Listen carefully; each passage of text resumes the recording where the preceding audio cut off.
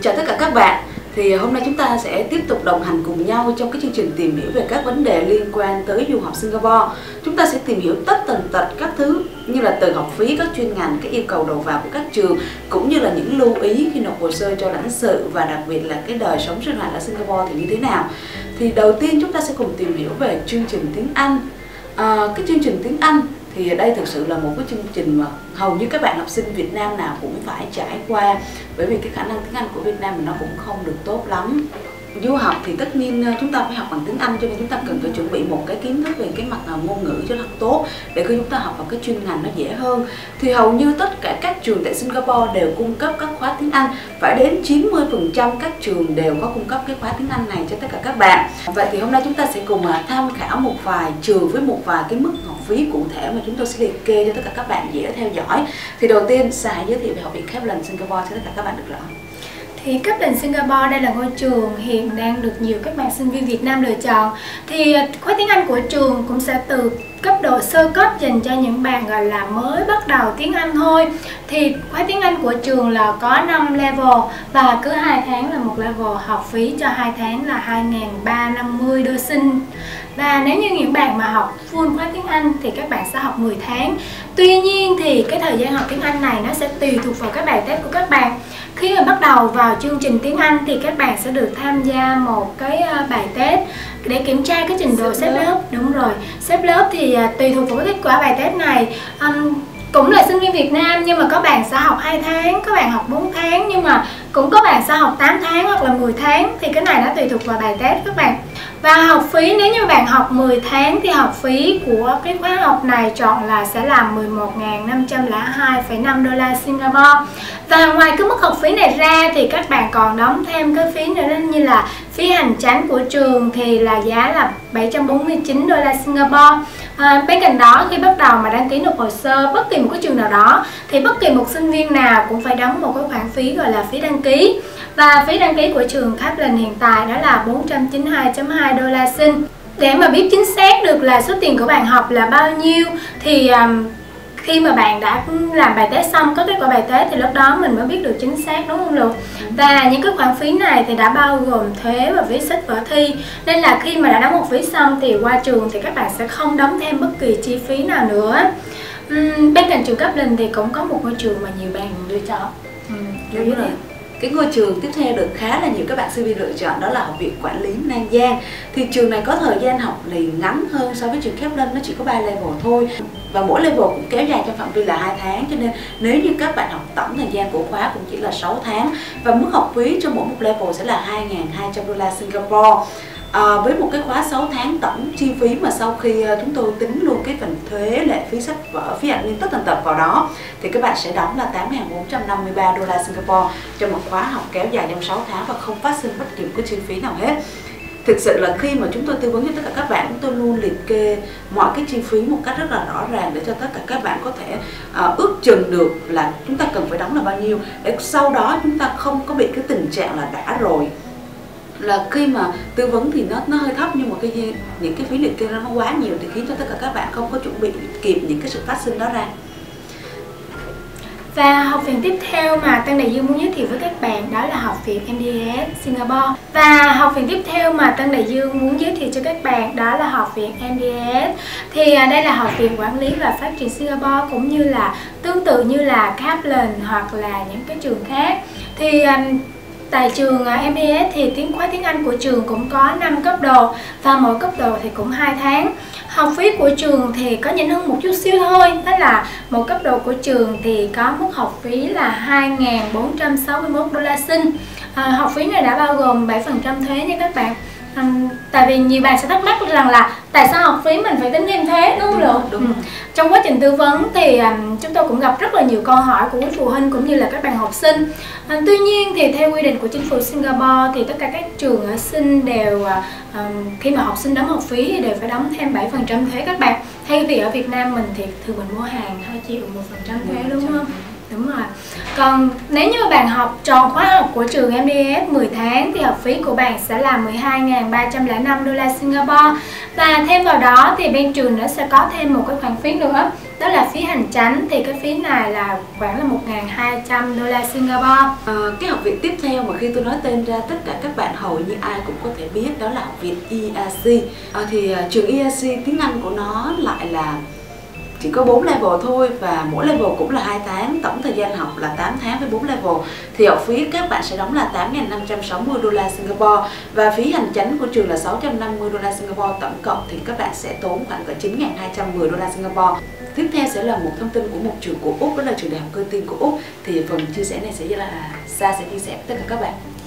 thì đây là trường của Úc, có trụ sở tại Singapore các bạn. Khóa tiếng Anh của trường thì có 5 level và mỗi level thì là 10 tuần và học phí cho mỗi tuần các bạn sẽ đóng là 3.450 đô la Singapore. Như vậy, đối với những bạn mà học full thời gian khóa 50 tuần, thì học phí của các bạn sẽ là 17.250 đô la Singapore cho trò cái khóa học này. Tuy nhiên, như mình giới thiệu lúc nãy thì các bạn à, sẽ làm bài test, kiểm tra cái trình độ đầu vào để xếp lớp, coi là mình sẽ học từ level nào. Nên là các bạn cũng đừng có ngại là ủa sao số tiền này sao nhiều quá như vậy đúng không? Mỗi bạn sẽ có một cái thời gian học là sẽ là khác nhau và mức học phí thì cũng không giống nhau.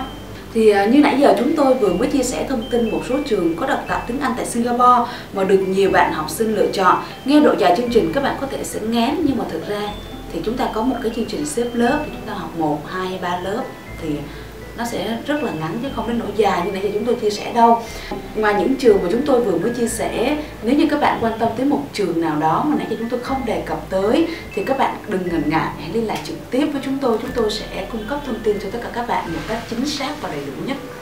Chương trình du lịch khách sạn tại Singapore rất là phát triển, có thể nói là phát triển bậc nhất trong khu vực Đông Nam Á của chúng ta. Chính vì vậy mà không có gì ngạc nhiên khi các học sinh quốc tế trong khu vực lựa chọn nơi đây để học tập và trao đổi các kỹ năng cần thiết trong cái ngành công nghiệp không khó này.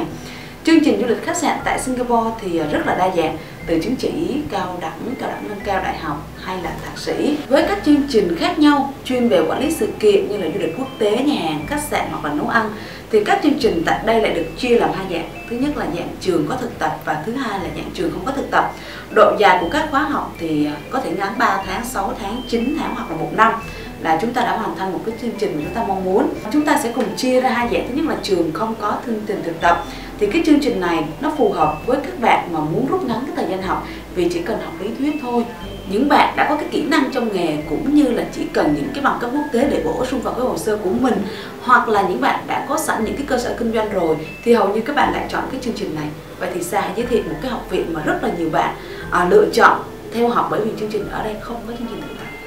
và thời gian học ngắn thôi, đúng không? Và mình cũng xin bổ sung thêm một chút xíu đó là mặc dù trường không có chương trình thực tập, nhưng trong quá trình học thì các bạn vẫn được thực hành. Nên các bạn cũng đừng lo ngại rằng mình học lý thuyết xuống như vậy thì không biết là mình áp dụng thực tế như thế nào nhé. Và ngôi trường mà được khá nhiều các bạn sinh viên lựa chọn hiện nay đó là trường Kaplan Singapore.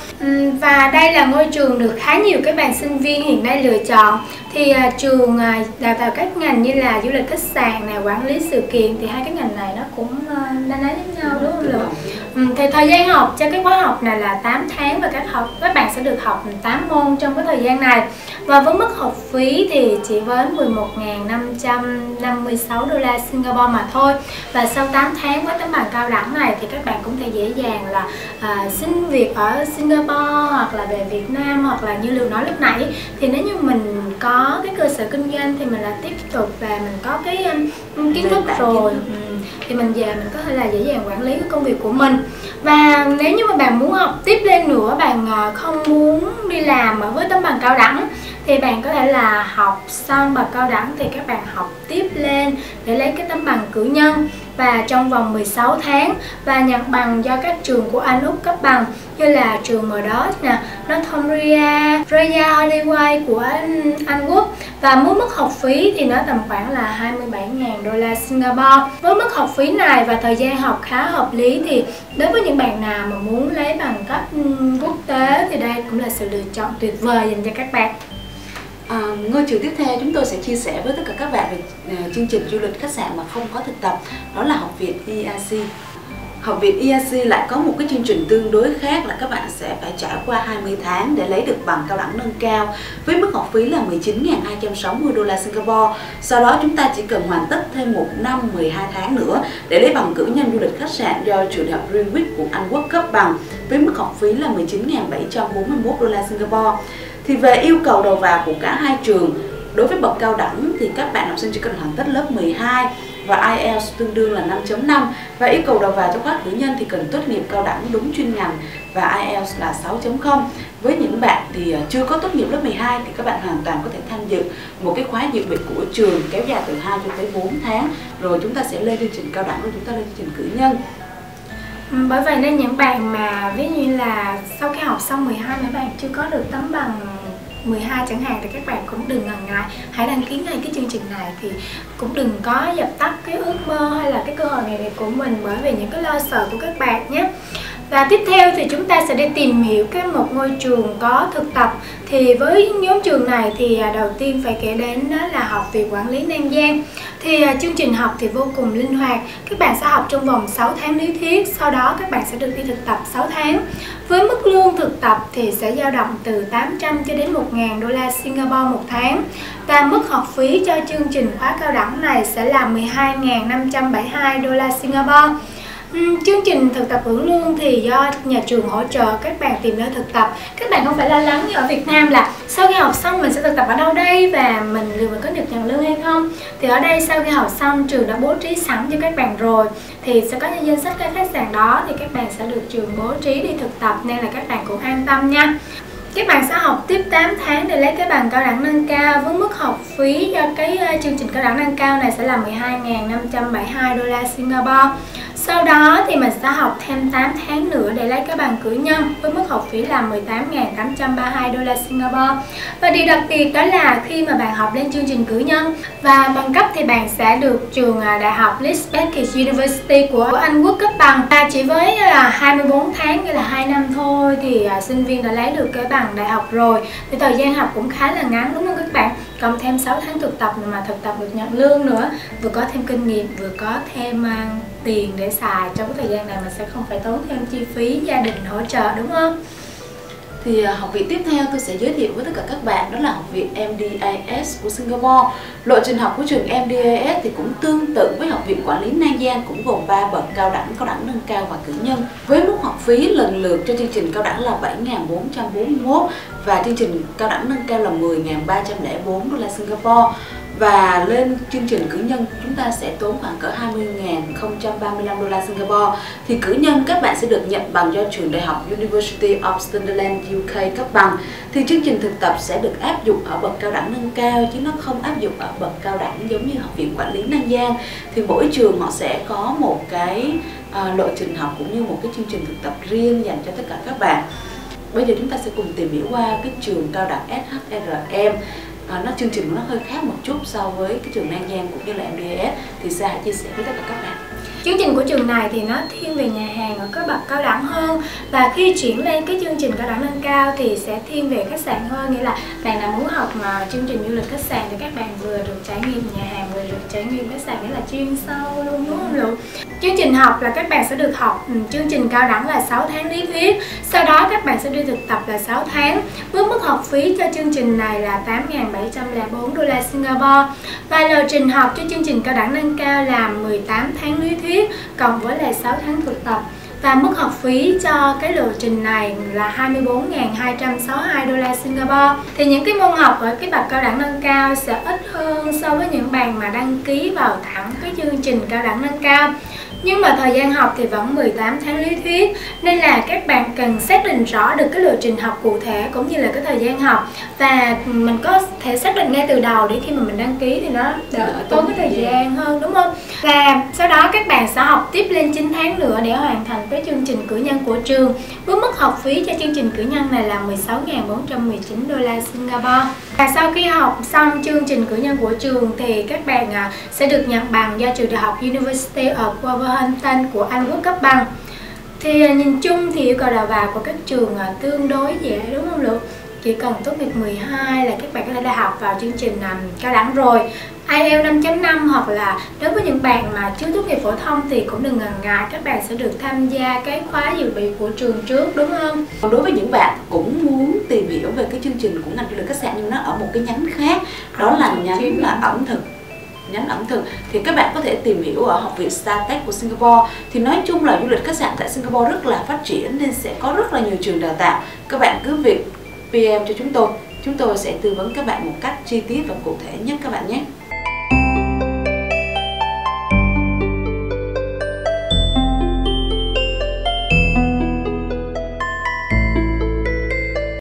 Công ty Tân Đại Dương là một trong những công ty du học đầu tiên và hàng đầu tại Việt Nam, được thành lập bởi đội ngũ các nhà quản lý và tư vấn du học có nhiều năm kinh nghiệm trong ngành giáo dục cũng như được thu nghiệp và đào tạo ở nước ngoài. Với hơn 10 năm kinh nghiệm, Tân Đại Dương tự hào là nhà tư vấn du học chuyên nghiệp cho các du học sinh tại các nước trên thế giới, đặc biệt là Mỹ, Úc, Singapore, Anh Quốc, Hà Lan, Thụy Sĩ, vân vân. Cùng với đội ngũ tư vấn viên chuyên nghiệp, chúng tôi cung cấp các dịch vụ uy tín và trọn gói cho ngành du học du lịch Mỹ, bao gồm xử lý trọn bộ hồ sơ đi Mỹ từ A đến Z, kể cả các hồ sơ khó đã từng rớt visa hoặc không đủ tài chính. Tư vấn chọn trường tại tất cả các tiểu bang ở Mỹ. Chúng tôi tự hào là đại diện chính thức của hàng trăm trường đại học cao đẳng, trung học phổ thông tại Mỹ. Hướng dẫn các thủ tục xin visa, chứng minh tài chính, hướng dẫn điền form, dạy phỏng vấn du học du lịch Mỹ. Khai giảng hàng tháng các lớp học phỏng vấn, đảm bảo cho học sinh có được sự tự tin trả lời được mọi câu hỏi của lãnh sự quán. Đặt vé máy bay, sắp xếp nhà ở, ký túc xá cho du học sinh, với phương châm hoạt động là uy tín, chất lượng và mong muốn định hướng cho học sinh Việt Nam một nền giáo dục tiên tiến, môi trường học tập và sinh hoạt an toàn, Tân Đại Dương cam kết sẽ là người bạn đồng hành cùng học sinh Việt Nam trên đường tới chân trời tri thức. Mọi chi tiết xin liên hệ công ty Tân Đại Dương chuyên du học Mỹ, mặt tiền 148 1 Trần Quang Khải, phường Tân Định, quận Nhất, thành phố Hồ Chí Minh. Điện thoại 08 3848 4879 0989 006 890. Website www.tandaiduong.edu.vn